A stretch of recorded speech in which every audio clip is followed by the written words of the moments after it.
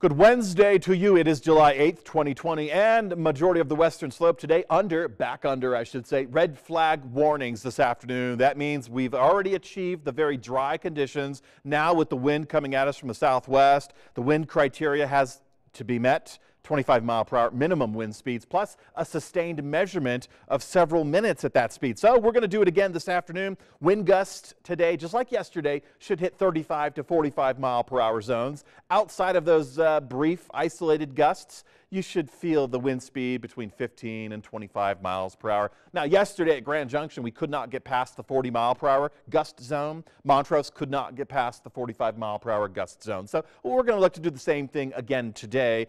We have a ridge of high pressure off to the southwest. That's going to build in through the end of the week. So as it gets closer to our area, we will let up on the winds on Thursday, but still, we're going to be a uh, breezy for Thursday. We just may not be under a red flag warning. However, very dry conditions in place, folks. This is a cautionary statement. Please be careful with open flames and anything that could spark. And in addition to that, with the heat we're going to experience, now yesterday Grand Junction only hit 99 degrees. That would have been our third 100 degree day. Now, I don't know about you, but I have a feeling if you look at the extended forecast, there might be a third, possibly a fourth 100 degree day in our immediate forecast.